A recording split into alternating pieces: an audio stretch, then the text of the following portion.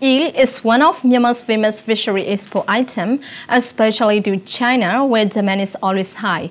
At present, many of the exported eel are caught from natural habitats, but systematic breeding is becoming a trend too.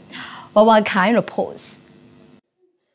According to Myanmar Fisheries Federation, eel exports to China have always had high demand since the country began exporting eels in 1997 although the total fishery export declined by hundreds of millions of dollars last fiscal year.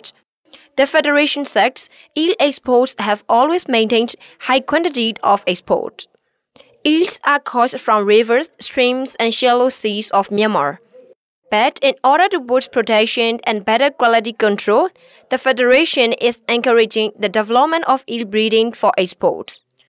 ဒီငရှင်းတွေကမြန်မာတနိုင်ငံလုံးမှာ We especially need to use the breeding methods and promote the system, which encourage people to not take smaller eels from their natural habitats. If it's successful, we don't need to worry about the eel population to decline, and we can also sell them at a good price when we export.